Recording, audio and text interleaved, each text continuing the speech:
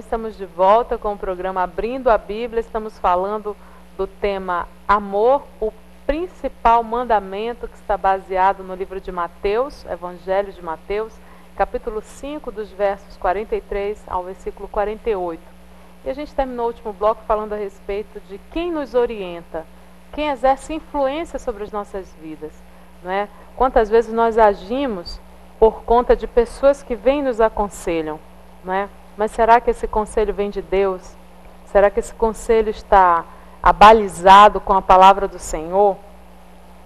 O amor muitas vezes parece não fazer sentido, muitas vezes parece ser injusto e muitas vezes também parece que, que é algo impossível para a gente. Amar alguém, por exemplo, que nos persegue, amar alguém que nos faz o mal, não é? E não faltam pessoas para dizer assim: olha, não ama, não, não merece, entendeu? Você não pode fazer isso e tal, e vem sempre com aquelas conversas, com aquele conselho disfarçado de, de algo bom, de alguém que está preocupado conosco.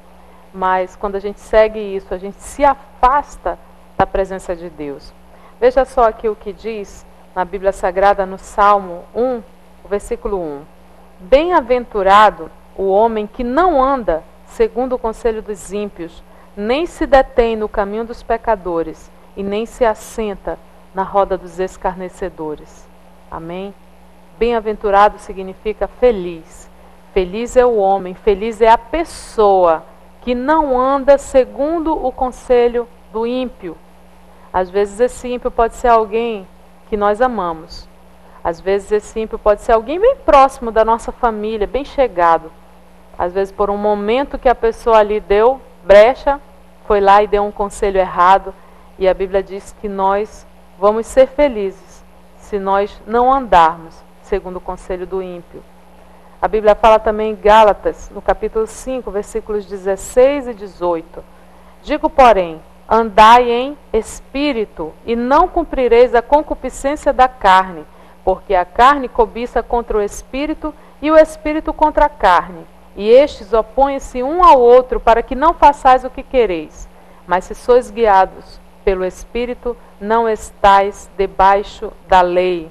E no versículo 25 diz assim: Se vivemos em espírito, andemos também em espírito. O que, que quer dizer esse versículo? Se eu tenho o Espírito Santo de Deus na minha vida, já que a Bíblia diz, afirma que eu sou o templo do Espírito Santo, você é o templo do Espírito Santo. Você não pode guardar o Espírito Santo aí dentro de você e deixar ele amarrado dentro de uma caixinha. Você precisa agir, andar, proceder conforme aquilo que ele orienta, conforme aquilo que ele ensina. E o que, que ele ensina, pastor? Ele ensina a palavra de Deus. O Espírito Santo de Deus nos ensina a palavra do Senhor, as Escrituras sagradas. E o principal ensinamento dele é o amor. Nós precisamos amar. A gente já está caminhando já para o final desse estudo e nós temos aqui uma outra reflexão, está em Mateus 5, 48. A Bíblia diz assim para mim e para você: Sede vós perfeitos, como é perfeito o vosso Pai que está nos céus. Esse versículo é poderoso, ele é muito tremendo. Vou ler mais uma vez. Sede vós perfeitos, como é perfeito o vosso Pai que está no céu. Eu estava lendo esse versículo e estava me lembrando, né? Quantas pessoas não falam, não, perfeito só Deus, santo só Deus. Isso aí é uma desculpa para que a gente possa permanecer no erro. Isso é uma desculpa para que a gente possa aceitar essa situação de pecado, de falha e não viver a vida nova que Cristo nos dá. Você aceitou Jesus? Então o sangue de Jesus te remiu, te limpou, te transformou. O Senhor escreveu teu nome no livro da vida. Você é uma nova criatura. E a Bíblia diz que quando isso acontece, as coisas velhas ficam para trás e eis que tudo se faz novo. Se antes você não conseguia amar o seu inimigo, hoje, pelo poder do Espírito Santo, pelo poder do sangue de Jesus que foi derramado na tua vida e te limpou, você vai conseguir. Aquilo que antes você não tinha forças para fazer, hoje o Senhor te dá forças para que você possa realizar. E o amor é uma dessas tarefas. O amor é um desses desafios que nós temos. Se a Bíblia está dizendo que nós temos que ser perfeitos, significa que é possível. Ah, pastor, é possível da noite para o dia eu me transformar e ser 100% perfeito? Eu acredito que não. Mas eu acredito numa coisa: se a Bíblia está dizendo que nós devemos ser perfeitos, é porque dia após dia nós vamos ser aperfeiçoados. Dia após dia nós seremos aperfeiçoados. Existem áreas da sua vida, assim como existem áreas da minha vida, que alguns anos atrás eram um caos e hoje já não mais. Hoje nós conseguimos crescer, nós conseguimos amadurecer, nós conseguimos vencer, não é verdade? E a gente comemora, a gente fica alegre. Aí lá na frente surge um deserto, surge uma situação e Deus nos aponta uma outra área da nossa vida que nós precisamos ser tratados, que nós precisamos ser curados, que nós precisamos ser moldados. Não é assim que acontece? E todos os dias o Senhor vai nos trabalhando, o Espírito Santo vai trabalhando no nosso caráter, o Espírito Santo vai trabalhando na vida daqueles que permitem que ele faça isso. E sabe por que, que ele faz isso, queridos? Porque ele está nos preparando. E aqui eu quero lembrar a você de uma promessa. Uma promessa. O Senhor, lá em João 14, diz assim: Não se turbe o vosso coração, credes em Deus, crede também em mim. Na casa do meu pai há muitas moradas. Se não fosse assim, eu vos teria dito: Vou preparar-vos lugar. E se eu for e vos preparar lugar, voltarei e vos levarei para mim mesmo, para que onde eu estiver, vós estejais também. E nós nunca devemos nos esquecer dessa promessa. E está breve. Né? Os sinais apontam que o arrebatamento da igreja está próximo. Jesus veio a esse mundo, morreu na cruz por nós, foi assunto ao céu. E ele foi para lá para preparar o meu lugar, para preparar o seu lugar. E mandou o Espírito Santo para nos preparar, para que a gente realmente esteja preparado para subir com ele. Porque no dia do, arrebata, do dia do arrebatamento nós não teremos tempo de pedir perdão, nós não teremos tempo de mudar as nossas atitudes. O dia do Senhor é hoje. O dia do Senhor para mim e para você é hoje. Hoje nós estamos aqui sendo confrontados pela palavra de Deus, de que nós precisamos amar, de que nós precisamos entender que essa ordem, que esse mandamento que o Senhor nos deu, não é algo opcional, não é algo fruto de um sentimento. Ah, estou sentindo vontade de amar. Dificilmente isso vai acontecer. Mas nós temos que estar decididos. A Bíblia diz que o céu ele é tomado por esforço. Né? A Bíblia fala: olha, no mundo tereis aflição, mas tem de bom ânimo, porque eu venci o mundo. Então, queridos, o, o caminho de Deus ele é estreito mesmo, ele é apertado, é difícil mas ele conduz à salvação, mas ele conduz ao Senhor, mas ele conduz ao milagre, mas ele conduz à vitória. Então é um caminho difícil, apertado, mas é um caminho que vale a pena seguir. Não pare no caminho, não retroceda, avance, avance com o Senhor. Talvez você diga assim, pastora, tudo isso aí está na palavra, mas eu não consigo. Mas eu quero dizer para você, querido, que não há impossível para Deus, não há impossível para Deus. O maior milagre que o Senhor pode fazer nas nossas vidas é transformar o nosso ser, é transformar o nosso coração.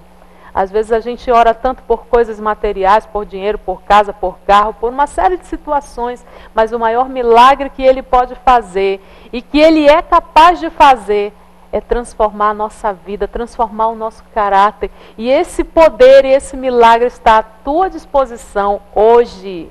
Está à minha disposição hoje. Você não tem que esperar o final do ano, o dia do Natal, que todo mundo se confraterniza, pede perdão. Não, hoje essa bênção e esse milagre está disponível para você e para mim. Aleluia. Olha só o que diz mais na Bíblia a respeito de ser perfeito. Olha só, tremendo. Deuteronômio capítulo 18, versículo 13 diz assim: Perfeito serás como o Senhor teu Deus. Meu Deus, pastora, como é que eu vou ser perfeito igual a Deus? Ande com o Espírito Santo de Deus e obedeça à palavra do Senhor, você vai andar em perfeição. Isso não significa que você nunca vai errar. A gente falha, mas dia após dia ele vai trabalhando em nós né? E é como a Bíblia diz: temos que lutar por isso, até conseguirmos chegar à estatura de varão perfeito. Mas se eu não lutar hoje para ser perfeito, como diz a Bíblia, como o Senhor diz para mim e para você, como é que eu vou continuar nesse processo. Não pare o processo de Deus na sua vida, querido. Não pare. Não pare. Porque o Espírito Santo de Deus, ele é educado. Ele só age quando nós damos permissão, quando nós dizemos assim: Espírito Santo, por mais que doa, por mais que eu sofra, por mais que eu tenha que renunciar o meu eu, a minha própria carne, faz a tua vontade. Quando nós fazemos isso, ele faz a vontade dele, mas se você não deixar, ele fica esperando até o momento em que você dê o sinal verde para que ele possa agir e continuar agindo na sua vida. A Bíblia fala também em Timóteo, 2 Timóteo, capítulo 3, versículo 17, para que o homem de Deus seja perfeito e perfeitamente instruído para toda boa obra. Como é que eu vou ser perfeitamente instruído para toda boa obra? Lendo, estudando, crendo e obedecendo a palavra de Deus. Amém? É o que nós estamos fazendo. Eu creio que o teu coração, nesse momento, assim como o meu, está cheio da presença de Deus. É um poder, é algo sobrenatural, queridos, que é a presença do Senhor. E esse poder nos dá força para a gente vencer, para a gente prosseguir, para a gente ter a certeza da vitória. Que você seja envolvido por esta unção sobrenatural que está sobre este lugar. Amém? A Bíblia diz mais, 1 João capítulo 4, 18. No amor não há temor Antes, o perfeito amor lança fora todo medo, porque o temor tem consigo a pena, e o que teme não é perfeito em amor. Tire o medo do seu coração, tire a dúvida do seu coração. Você sabia que às vezes a gente espera tanto que Deus faça, não é? Que Deus faça, mas tem situações que sou eu que tenho que fazer, que é você que tem que fazer. Muitas coisas somos nós que temos que decidir fazer. Às vezes a pessoa ora e diz assim, ah, pastor, eu estou orando, para Deus, é, para mim amar o fulano, ou estou orando para Deus fazer isso. Não, você não tem que orar para Deus, você tem que decidir fazer. Dê o primeiro passo respaldado na palavra e você vai ver o que Deus vai fazer na sua vida. A parte de Deus está aqui, já está a orientação, já está feita. A parte de Jesus Cristo já foi feita, ele já conquistou na cruz do Calvário todo o poder, todo o perdão, todo o milagre, toda a saúde, toda a libertação que nós precisamos, toda a provisão que nós precisamos, o Senhor Jesus conquistou na cruz. A parte dele é perfeita, foi perfeita. Não há necessidade de um outro sacrifício. Aquele sacrifício foi perfeito, foi completo. E o que, é que nós precisamos fazer agora? Obedecer, nos posicionarmos como os verdadeiros filhos de Deus, como templo do Espírito Santo e tirar a Bíblia do papel. A Bíblia não pode ficar só aqui. A Bíblia tem que estar na minha mente, a Bíblia tem que estar no meu coração. E a Bíblia tem que estar principalmente, sabe aonde? Nas minhas atitudes. Nas minhas atitudes, nas minhas palavras, no meu procedimento, no meu dia a dia. É isso que faz toda a diferença. E para finalizar esse estudo, eu trouxe aqui alguns versículos a mais que falam a respeito do amor na palavra de Deus. 1 Coríntios 13, esse texto é tremendo, né? muito conhecido. Olha só, como é que se manifesta o amor? A Bíblia diz aqui: o amor é paciente, o amor é bondoso, não inveja, não se vangloria, não se orgulha, não maltrata. O amor não maltrata não procura seus interesses, não se ira facilmente, não guarda rancor. Que coisa tremenda, queridos. O amor não guarda rancor. O amor não se alegra com a injustiça. O amor não se alegra com o mal dos outros. Não, a Bíblia está dizendo aqui. Mas o amor se alegra com a verdade. Tudo sofre, tudo crê, tudo espera e tudo suporta. Receba nesse dia esse amor, o amor que vem de Deus, o amor que é produzido por Ele, o amor que não vem de nós mesmos, o amor que vem do Senhor. Receba neste dia esse amor sobrenatural. Em Cântico dos Cânticos, ou livro de Cantares, no capítulo 8, versículo 7, eu quero deixar essa palavra aqui para você que é casado, para você que é casada. A Bíblia diz assim: Nem muitas águas conseguem apagar o amor. Né? Em outras versões diz assim, as muitas águas não poderiam apagar este amor, os rios não conseguem levá-lo na correnteza. Se alguém oferecesse todas as riquezas da sua casa para adquirir o amor, seria totalmente desprezado. Querido, em nome de Jesus, não permita que as dificuldades do dia a dia apaguem o seu amor pelo seu cônjuge. Essa foi a mulher que Deus te deu, essa foi a mulher que você escolheu, esse foi o homem que você escolheu. Volte ao primeiro amor. Pastora, não sinto mais amor pelo meu marido, não sinto mais amor pela minha esposa. Deus é amor, querido. Tenha Deus na sua vida e Ele vai renovar esse amor. Porque a Bíblia está dizendo aqui: as muitas águas não conseguiriam apagar esse amor. Sabe o que significa essas águas? As dificuldades, o desemprego, a doença, as dificuldades de comunicação, de relacionamento. Tudo isso tem jeito, tudo isso com o amor e com a presença de Deus isso aí pode ser resolvido, pode ser consertado. Não abandone a sua família, não abandone o seu lar, mas receba de Deus este amor, este amor que é profundo e esse amor que vem de Deus, que vem do Pai. Amém, queridos? Colossenses 3, versículo 14 diz assim: Acima de tudo, porém, revistam-se do amor que é o elo perfeito Sabe o que é se revestir? É colocar, a gente se veste, né? Com a roupa. E a gente se reveste com o amor, o amor que vem de Deus. E Coríntios 13, 13 diz assim: Assim permanecem agora esses três: a fé, a esperança e o amor. O maior deles, porém, é o amor. O maior é o amor. Deus é amor, querido que você possa guardar essa palavra no seu coração, na sua mente. E se o Espírito Santo de Deus falou com você algo que você precisa fazer, alguma pessoa que você precisa procurar, alguma atitude que você precisa mudar, decida mudar hoje. Porque isso aqui só vai ter efeito na tua vida, só vai trazer bênção para a tua vida se você colocar a palavra de Deus em prática. Não basta você conhecer, não basta você saber, se você não colocar em prática nas suas palavras, nas suas atitudes. Amém? Que o Senhor te abençoe poderosamente, poderosamente. Receba este poder de Deus que vem da sua poderosa palavra. Amém?